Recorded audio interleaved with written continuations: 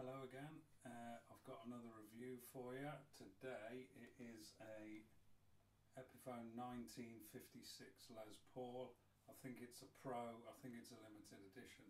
Some people call it by different names. Uh, it's in Chicago blue. It's a nice blue, that's all I can say. It's darker blue on the back and on the neck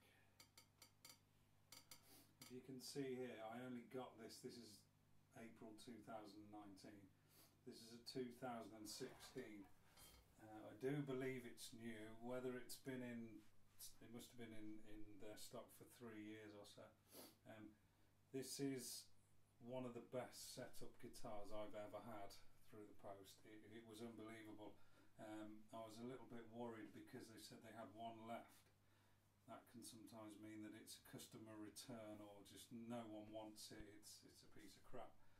It was set up very well. Um, a lot of Les Pauls, even the Gibsons, have overspray here and poor binding. This is absolutely perfect. In fact, I've just I bought a Les a Gibson Les Paul standard recently, and it was this is much better finished I'm not slagging Gibson off, I'm just being honest. I want Gibson to produce good guitars, but that one wasn't. Um, it's it's unbelievable. It was 350 pounds. Uh, it should have been 450. I think they've stopped making these now. Um, if, if you're in the market for something with P90s, I'd recommend this. I have seen a lot of them in candy apple red left, so if, if you want one, I'd, I'd get one, but it's yeah, it's it's a really good guitar. Um, I've, I've just bought something else that was well over a thousand pounds, and I, I'm just playing this all the time. It's great. Uh, because it was 2016, I believe that's before the CITES issues. This is proper rosewood. Uh, a lot of the Epiphone stuff, 2017 up, and, up until late 18, maybe even now, will be Pau Ferro or composite or Indian laurel or something. But this was this was made before CITES. It's it's really well made. Tuning pegs are perfectly in line. They're not on the skew.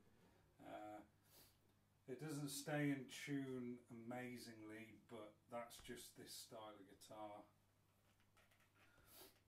pickups are very powerful, they're standard, haven't changed anything. Um, I've just noticed when I was setting up to do the sound, I need to either raise the, the bridge pickup or drop the neck one. When you hear it in a minute, the neck one is much, much, got much more oomph to it, so I need to change that. Switch feels fine, everything, I'm, I'm still almost thinking something's going to go wrong with it. It's it's such a good guitar. Uh, I, I, can't find a fault with it to be honest. Uh, even so, it's on par finish wise with a Japanese Tokai that I had for a long time. So that you go. That says it all. It's fairly heavy. They haven't skimped on the wood. Um, is the wood as good as on a Gibson or anything else? Who knows? I'm never going to know, don't really care. Could be seven pieces of wood. It sounds good, well made, who cares? Might upgrade the pickups just for the sake of it, but these are absolutely fine. Uh, it's got one of those, I don't know what you call them, uh, where the stop bar doesn't fall off, which is good. Uh, it's set up fine, intonates well. I can't can't recommend these high enough to be honest. Um, it uh, uh just again, it's an Epiphone 1956. Sometimes it's listed as a Les Paul Pro. Sometimes it's listed as a custom shop. Don't know. But if you see one of these in red or gold or blue with P90s, it's probably this model, and it is really good. Here's some sounds. I'll start off with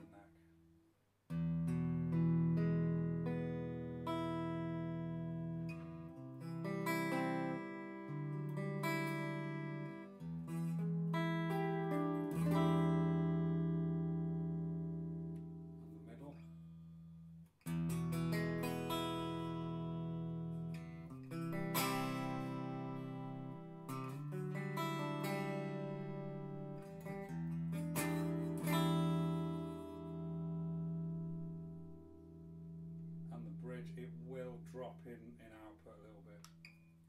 Not that much.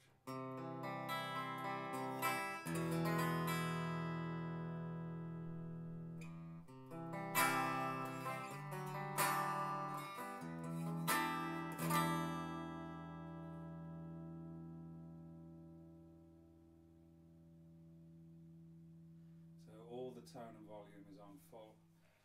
I'll use my Plexi Drive pedal, Tone City Golden Plexi, sorry.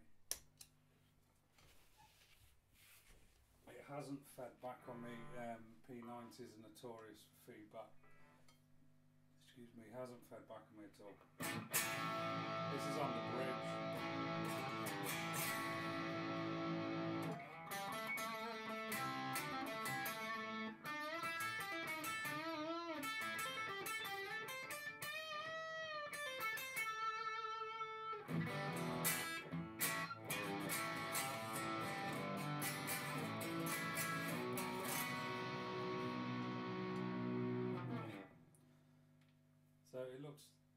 Very traditional looking guitar. You know, uh, these predate the 59 version of the Les Paul, which had humbuckers, but it can be very distorted.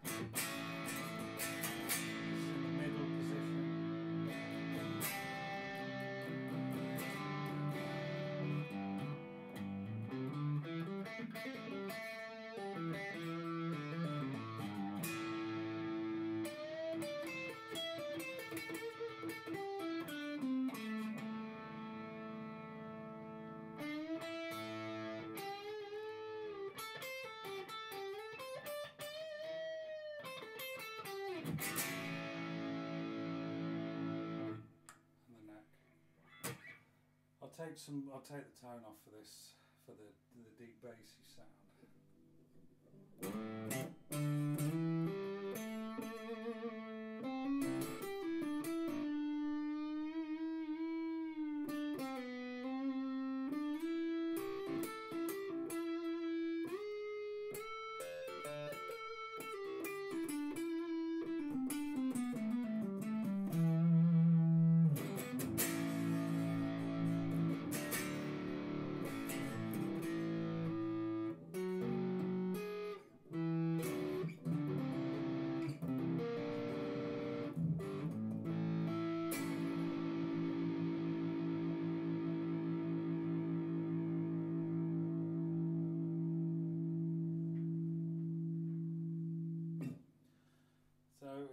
I- I'll put, I'll put in the comments uh, in the title what exactly it is. But for for the money, this is I'm speechless with it. To be honest, I don't. Uh, I don't say when something's good and it's not. I've sent a lot of guitars back because I don't like them. This is absolutely spot on. In fact, if I see another one for the same price, I'll probably just buy it because they're so good. Um, so one thing I didn't say is if you don't like fat necks, this is absolute baseball bat. It's massive. Um, it's obviously it's, it's shorter than a Telecaster neck, but it's as fat, if not fatter, than a real 50s, early early 50s Telecaster neck. But I like it. So, uh, if you've got any questions, let me know. Thanks.